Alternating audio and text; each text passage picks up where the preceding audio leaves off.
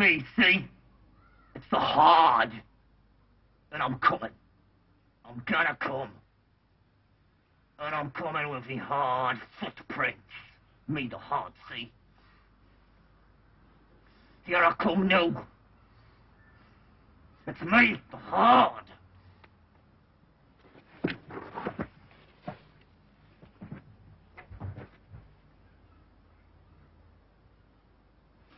See, I'm the hard, right?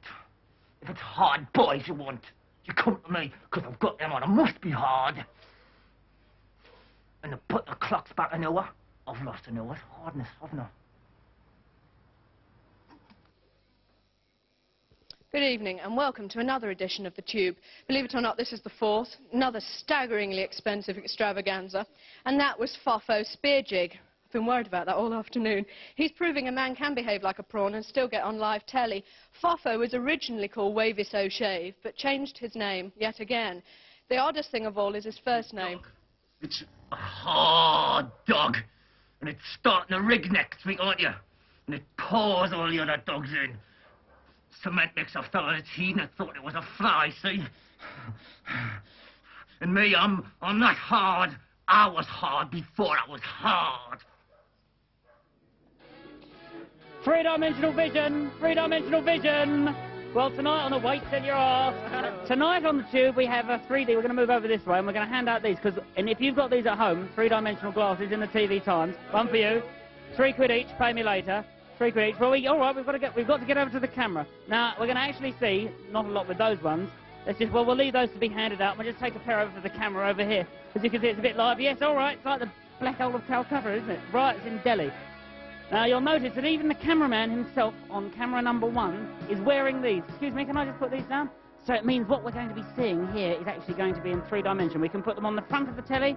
Remember, if you've got these indoors, get them out. First ever time on British television, you're going to be seeing three dimension. Oh, a spoof Jules is, isn't he? Well, there's a definite Scottish flavour to tonight's programme of The Tube, with Simple Minds playing live in the studio later on, and we've got a special film report from Glasgow.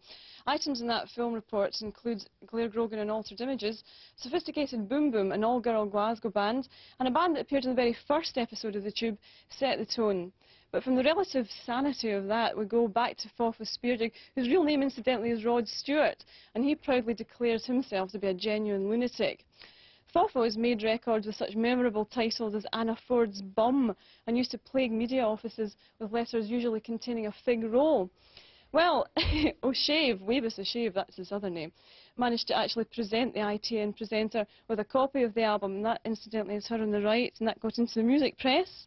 Debbie Harry, unfortunately, was another star who managed to fall victim to Foffo, as was Toyah Willcox, for whom he had a particular soft spot.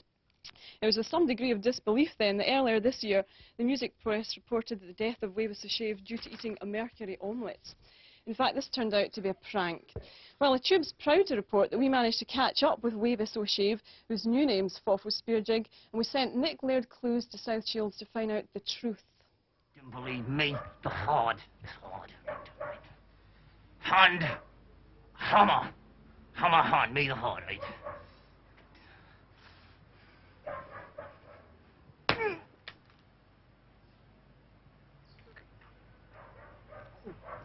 Felt note.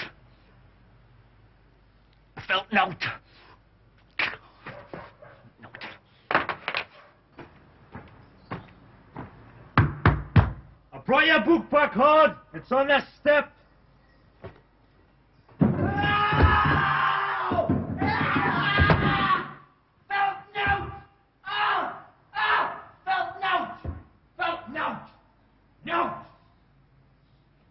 Staring at me, are you? Staring at me, are you? So you didn't think I'm hard? Me myself, I'm not hard. I'm gonna walk to the North Pole with my sleeves rolled up. What's the hard all about? The hard. What's it based on? It lampoons um, the basic ingredients of uh, rebel rousing, I believe. It says a lot for the, the character who hogs the sort of um, the streets, you know what I mean? I don't smoke or drink, etc. I'm not hard, I don't take drugs, no women, all that, you know what I mean? But I mean, the hard, he says it all, right? If you're not one of them, you're out of place, you don't fit into society, and here I am. Right. That's how hard I am. And, and I've had 73 pints of beer and I'm not drunk yet. And then I'm gone to the pub till closing time. Well, listen, I mean, there was a great comic tradition with people like Charlie Chaplin and Lenny Bruce where they Yeah. picked on things that were wrong in society and they laughed at them, and by laughing at them, uh, sort of made you reevaluate them. Do you think you're carrying on that great comic tradition? I certainly am, John. Good, thank you, Lenny. Um, the only other thing is there seems to be this paradox that you caught the press on one hand and that you uh, always appearing in with people like uh, Debbie Harry, Toyah Willcox, uh, even Rod Stewart and Britt Ekland. But in fact, you, I mean, you could be another Kenny Everett or an alternative Jasper Carrott. Oi, less of the But- Kenny but- Everett but- bit, less of the Kenny Everett bit, right? crazy, Ken. But uh, you- I mean, you could be another one of those uh, sort of comedians. But even though you caught the press, you don't seem to want to be famous. Uh, what is your ambition? What do you want? I've just got to try and get through my life like everybody else has to get through their life, but I have to do it my own way, which is like, there's a famous Chinese proverb that says, those who choose a separate path cannot show each other the way, so I'll just go my way, right? If you can't understand me, that's fair enough, you know what I mean? But, uh, you know what I mean? But, uh, What? What? you didn't believe him? huh? I'll punch you in your best friend's moustache if you didn't think I'm the hardest of the lot, right? I felt nout. Felt nout. So when I know I knocked it then.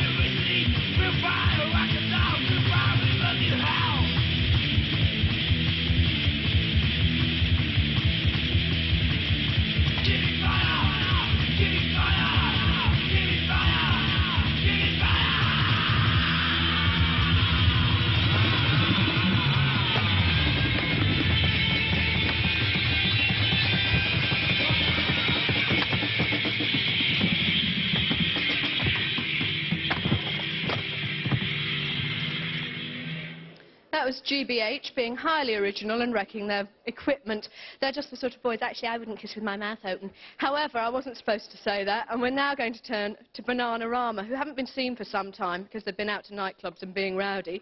But here's the sensitive side of their nature, seen, filmed around Salzburg.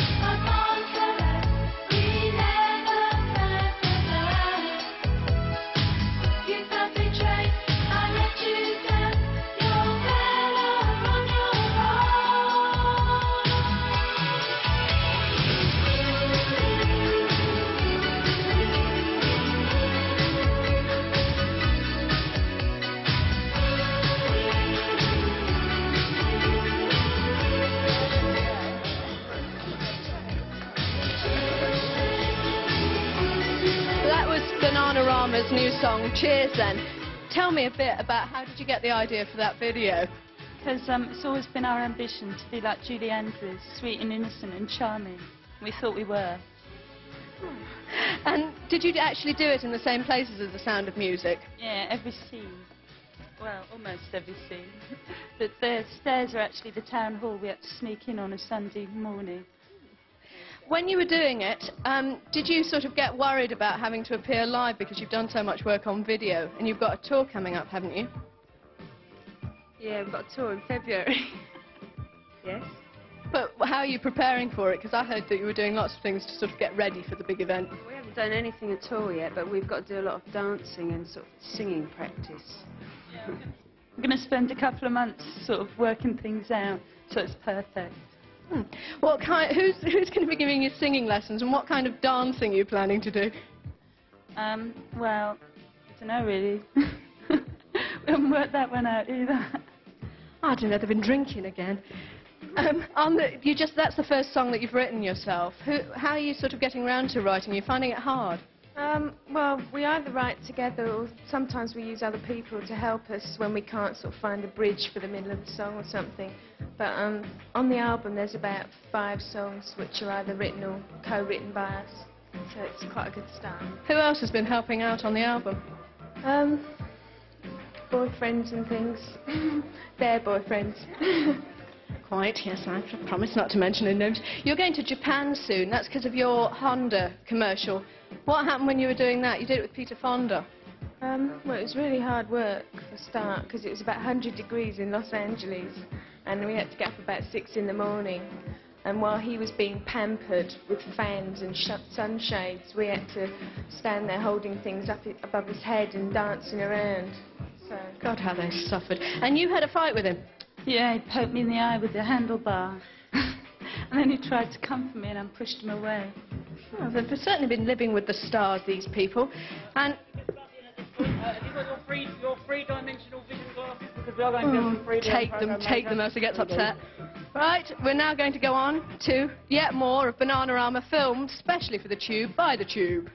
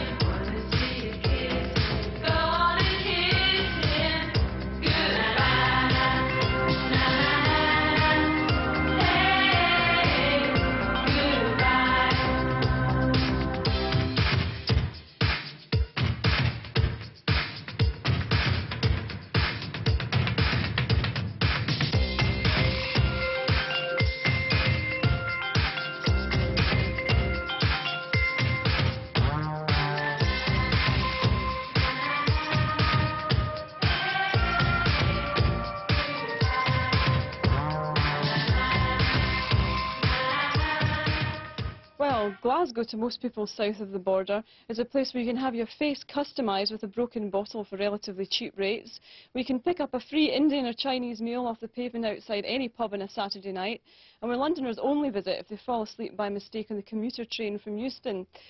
Well, Glasgow, Glaswegians and Glasgow itself too is accused of being provincial, aggressive and very backward and also 400 miles away from where it's all happening. Although I had no idea it was happening in Aberystwyth.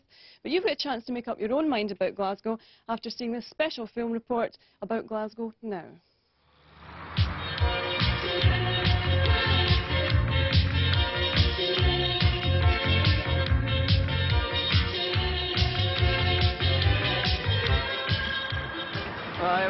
Here we are on the transport on a lovely day going through Glasgow, as you can see. I mean, if you look where I live, I'll tell you all this, I mean, there's places, people build places like this. And I really do think that some architects ought to have their legs drawn off because Yeah. they haven't had much of a clue as far as building nice buildings concerned, have they?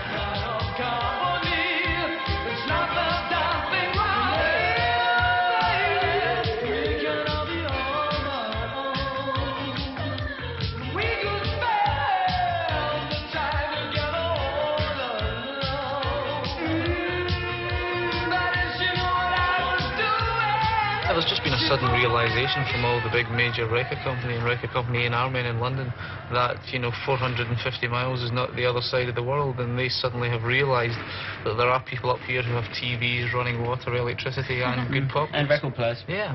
Hmm. And do you, do you find that London record companies will come up and start servicing, you know? Yeah, well, they, they didn't used to do that. Simple Minds can probably be credited for being the first band to actually prompted that Mm. because they had a residency in a Glasgow pub and they were actually the first band to persuaded, if persuaded is the correct word, A&R men to actually get on a plane and come up from London to Glasgow instead of them having to go down to London and Mm. book the Nashville rooms or something and do some kind of showcase gig. So after that, you know, it tended to open the floodgates. Are you similar to John Peel in that you'll play fans' tapes if I send them in? He's like similar to me. That? Is he? Yeah, yeah, I'm getting about 20 uh, demo tapes a week now. I've got a massive egg box in the house, and I've got one of those posy Sony Walkman things and walk down the street with five tapes in each pocket and get killed by buses, but it really is the only way I can get through them. Hmm. Do you listen to this programme when it's on? Sometimes. I never listen to the midnight one because I never stay up that late. No, no, obviously not. uh, um, I listen to him sometimes, yeah. He's not bad. Did Altered Images ever send you a tape? And Yes. He, he, yes, and he, he slagged off my singing completely, said I couldn't sing. Which is true, but Well, what do you think of tell him for saying that then? She beat me I want to know why you're called the disco kid, actually. I'm called the Disco Kid because uh, my pension comes up for renewal next week, and I'm just trying hard to hold on to my youth, basically. no, I, I said that Clare couldn't sing because on the, the Dead Pop Star single, the one I'm referring to, she tended to sort of do a, a John Cooper Clarke impersonation. It was more like a, a musical monologue as Reading. opposed to a Mm. song.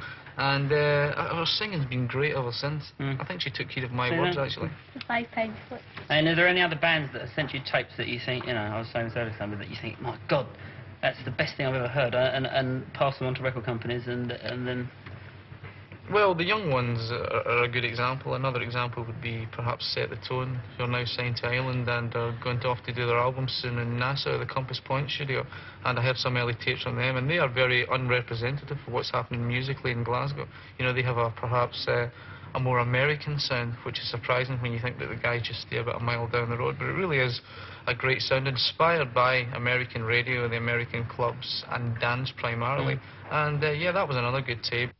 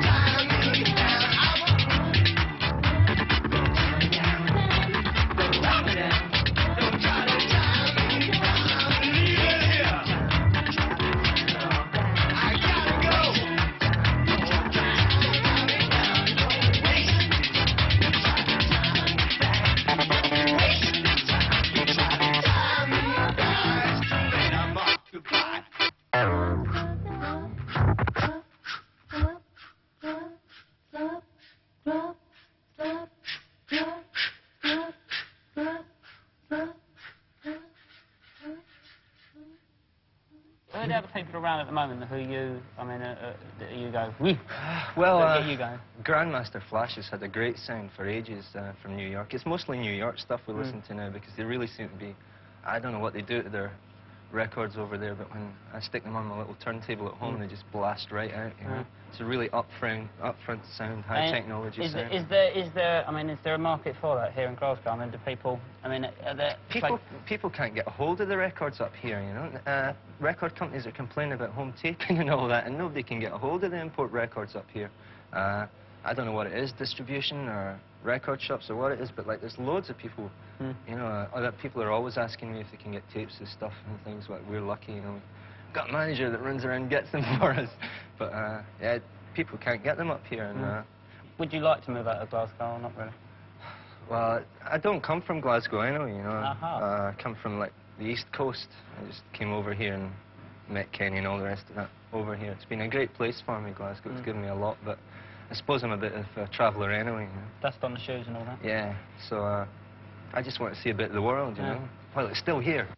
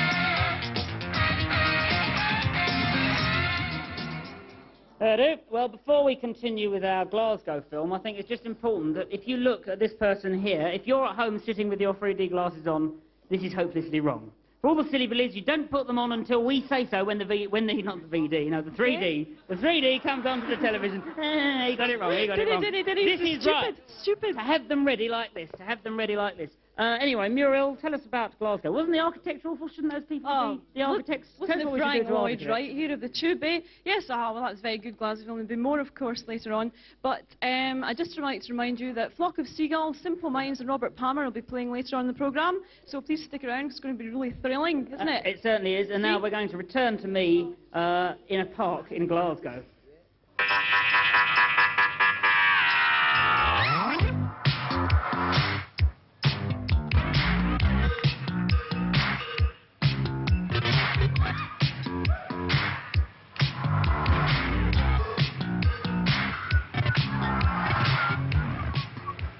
Well, this isn't much of a slum, I expect you're saying to yourself. Not much ghetto here, you're saying to yourself. Because you're probably under the misconception that Glasgow, in fact, is all slums and unpleasant. Whereas, of course, in fact, it isn't like that at all. There's some charming places, like this park that we're walking through at the moment, where on a Saturday afternoon, Glaswegians will come and do uh, traditional Scottish activities, playing tennis and tossing the haggis, eating the caber. And uh, we'll walk through here we'll find out some more interesting things that Glaswegians do. And we're going to look at this gaily coloured church here. Um, and there's one of the great mysteries of Glasgow surrounds this church. In fact, one of the great mysteries of Scotland. Because we're going to, uh, which we'll investigate in just a moment. It, this church was built in 1781 using nothing but fine Glaswegian granite hewn from the Glaswegian granite mines a few miles over the road there. And up here is the great mystery. These, which is ancient Scottish writing, believed to be from the 5th century, and we've had sociologists and all our research team has been looking in to try and find out what it means. And so far, all that's known about this is that the very last inscription there means Jimmy. Well, let's go and have a look inside and see what uh, goes on inside this charming church.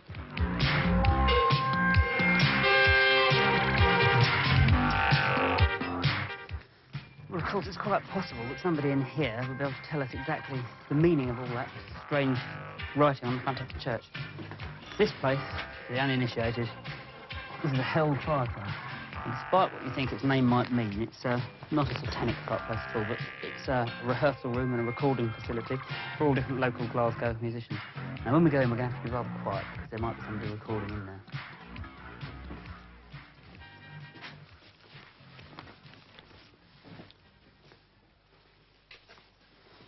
So they have all sorts of facilities like this laid on for the uh, local child prodigy pianists.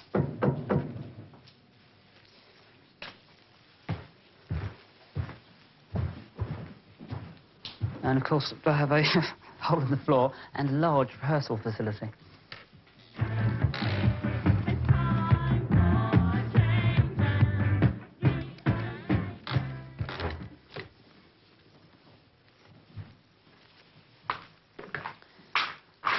So let's...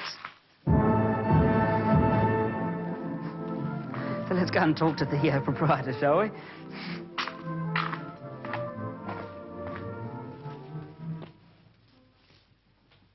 It's not just a studio. It's not. It's not a rehearsal room. It's not a studio. No. It's just a. Just a place. a. Mhm. Just a Hellfire club. I mean, is it more of a thing where bands can come, um, I mean, the impression I get, where a band can come and very cheaply get something together? Where, Yeah, that. Yeah, that is true. That's that's one of the you things. h- how much do you charge an hour if a band wanted to rehearse? What Two is- pounds. Yeah. That's very cheap, isn't it? Mhm. Well, the second thing that we did was the was with with Clare and Altered Images. We did. And it cost us ten pounds too. Your we first- spent it. Your first, first demo was this? Yeah, this is our first demo. We did four songs, all for ten pounds. Well, you can't say better than that. The tape must more than that, mustn't it? It's really funny tape, yeah. Is that the demo that you sent that got you the first bit of recognition you needed? Oh yes, it certainly did. So God only knows. when you look back and you hear it. Don't you feel she should have given you a bit more now then? no, no, I think No, it was it our, was it was, fun. it was our first recording as well. Well, second recording. and also I believe you had Simple Minds, you know? Yes, they, they were in on uh, a different sort of basis. We, we just let them in overnight, sort of over a period of a few weeks, and they just Did they their had, own recording. uh, they had a reporter studio recorded themselves.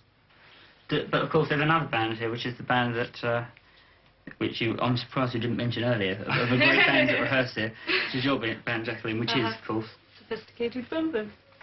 I'm the drummer.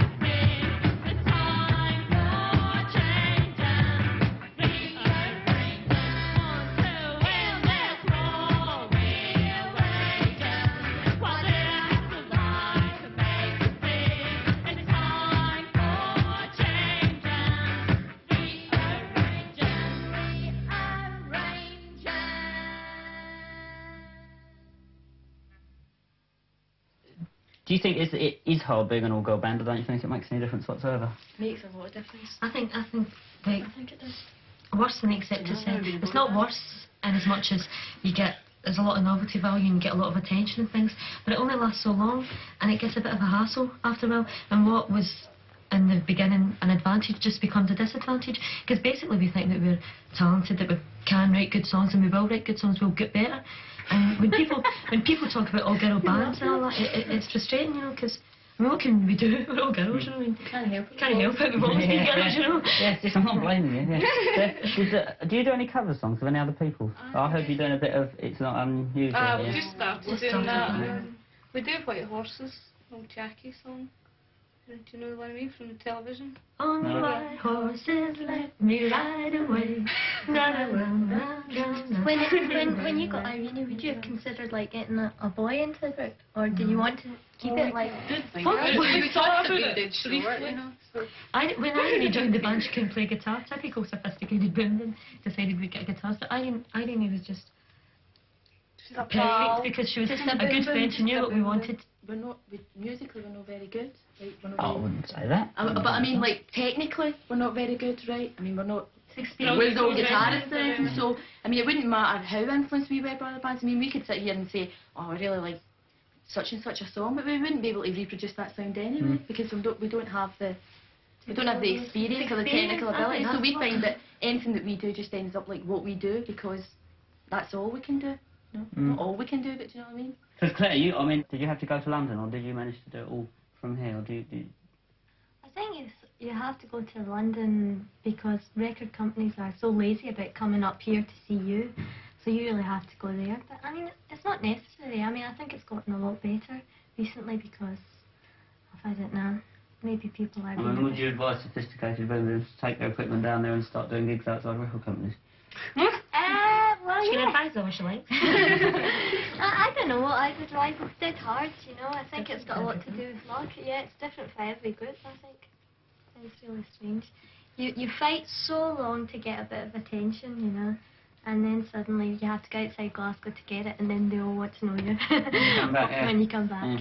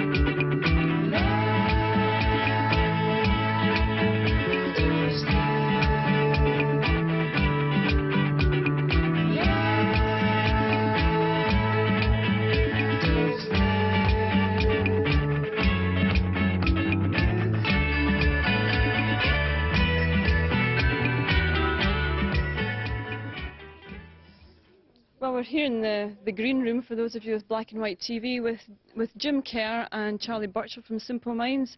Uh, oh, oh, Jim, the new album, New Gold Dream, it seems a bit of a landmark, is it not? I mean, how do you see it? Because Simple Minds have been through quite a few changes lately.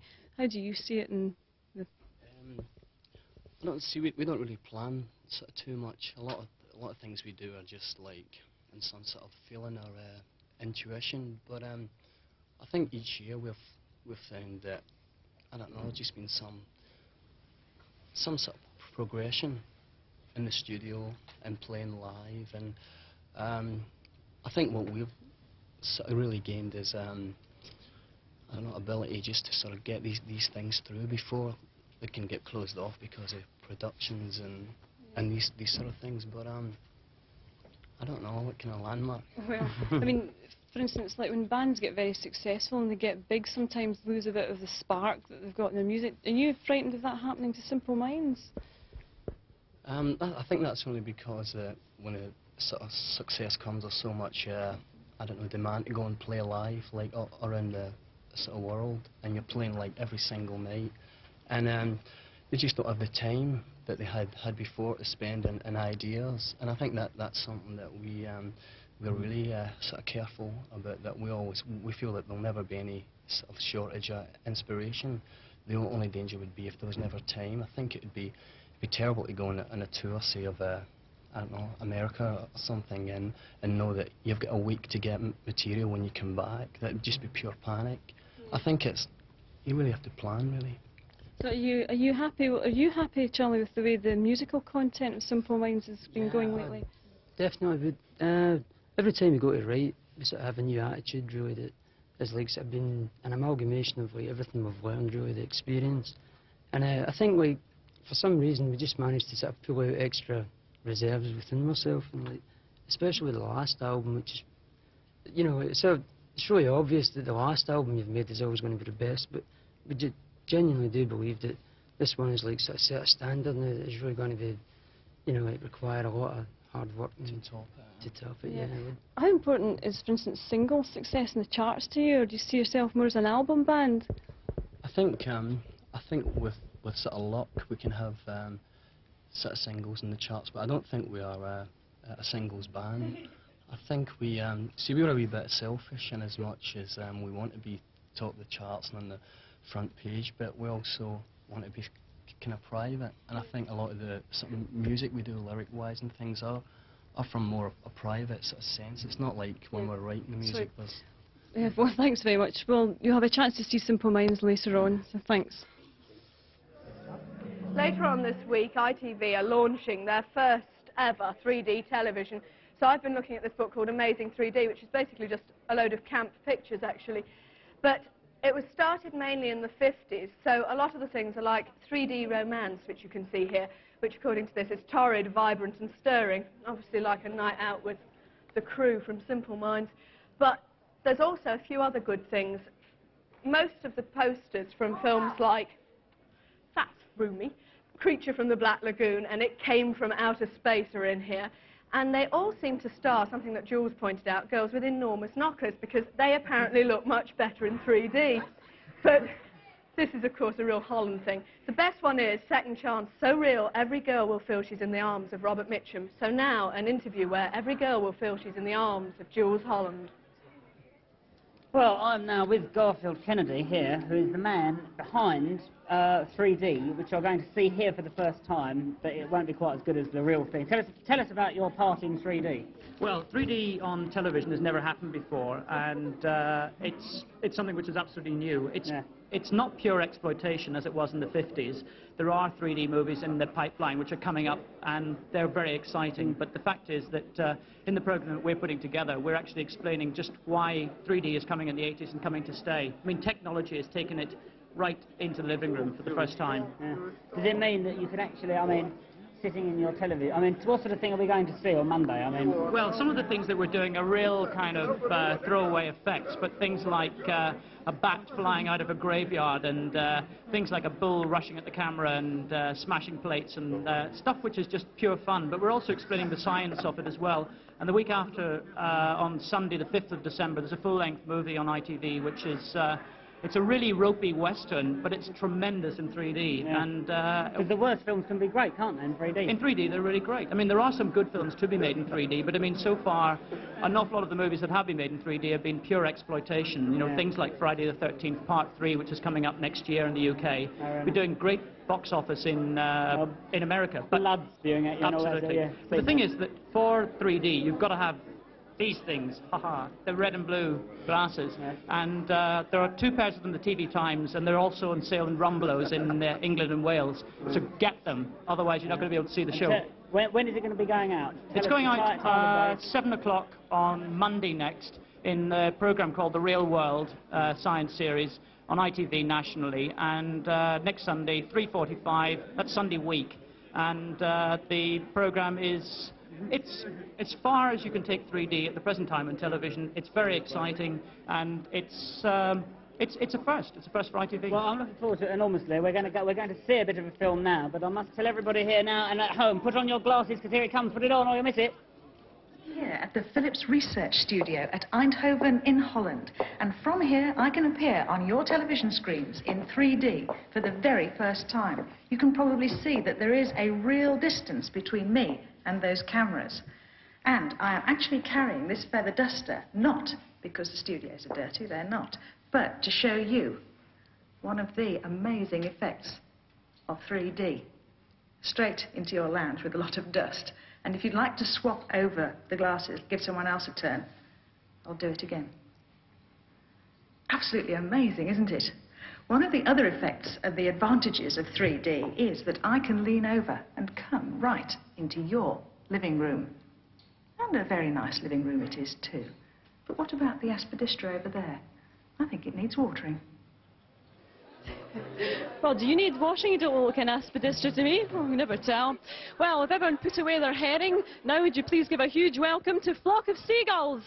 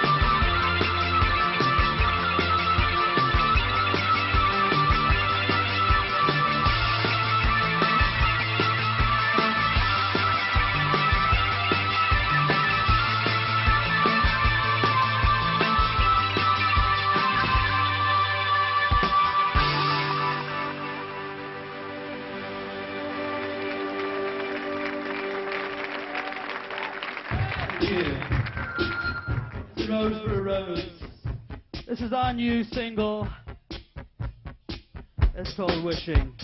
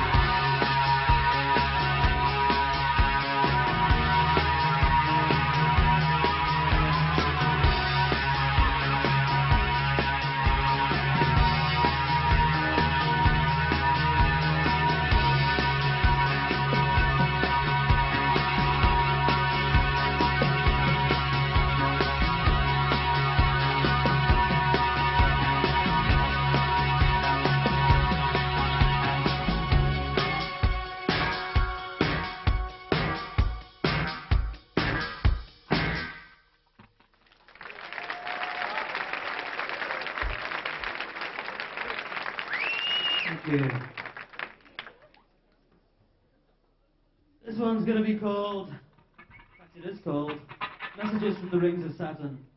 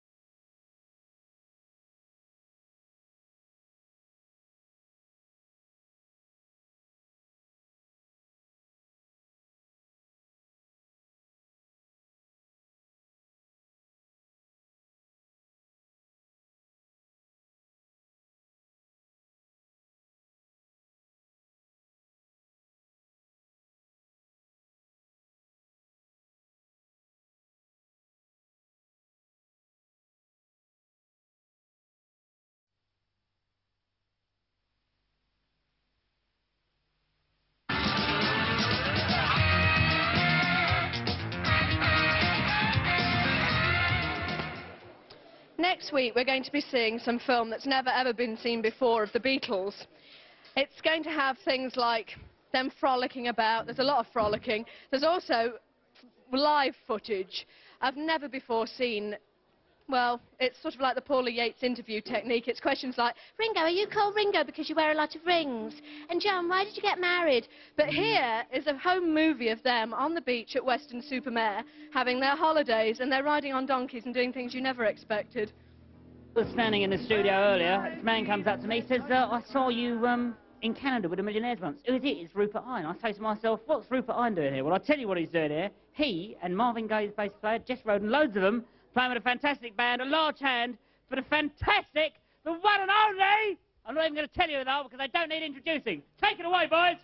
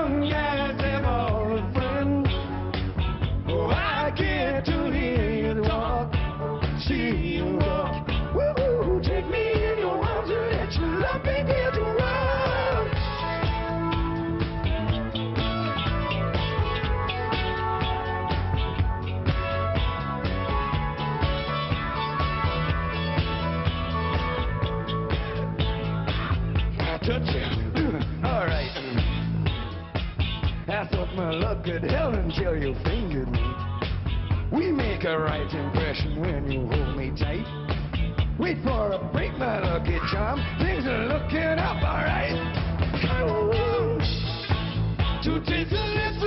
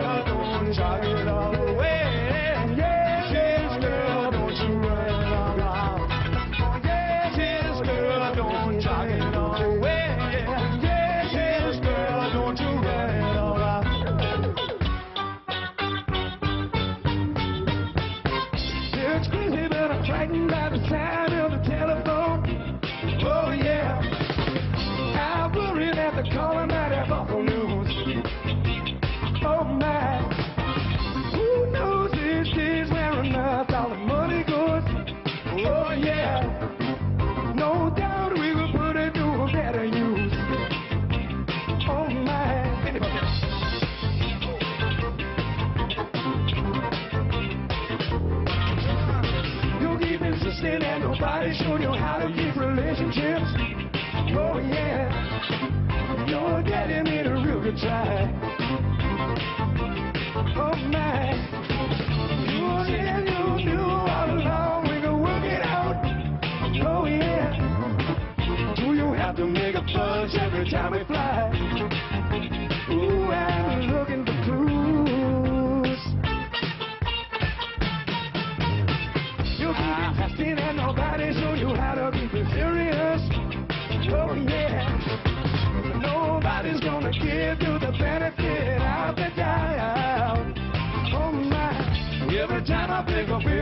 try not to believe the news. Oh yeah, I'm gonna have to shake it up and twist and shout now. Ooh,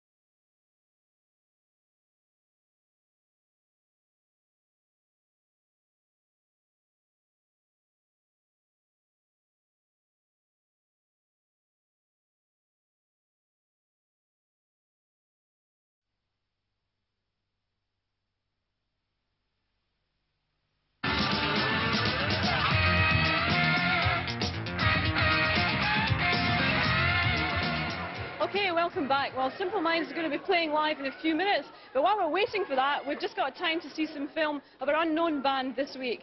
They are, of course, a Glasgow band. The Tube team filmed them in Glasgow, and they're called The Imprints.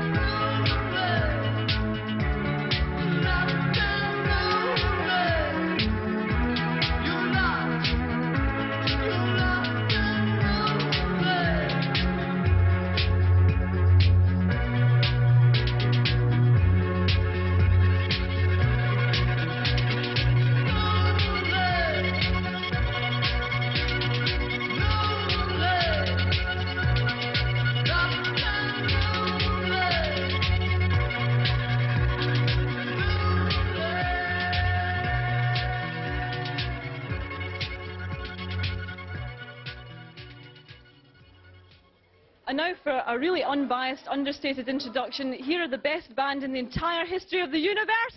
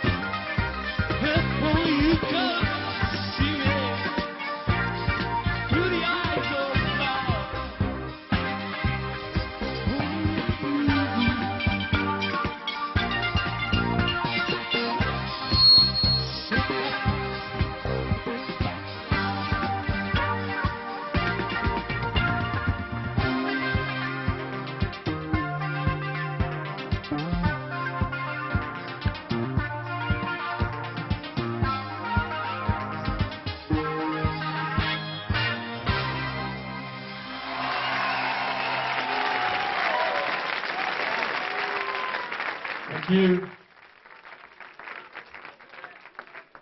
Pleasure to be here. Forget the cold. Let's say this is called Someone, Somewhere, in